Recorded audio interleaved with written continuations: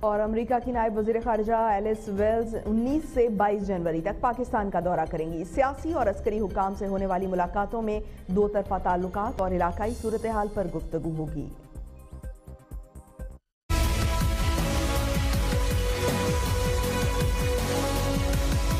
امریکی نائب وزیر خارجہ ایلس پیلز انیس سے بائیس جنوری تک پاکستان کا دورہ کریں گی حکام سے ہونے والی ملاقاتوں میں دو طرفہ تعلقات اور علاقائی صورتحال پر گفتگو ہوگی۔ ذرائع کے مطابق ایلس پیلز پاکستان میں سول سوسائٹی کے نمائندوں سے بھی ملاقات کریں گی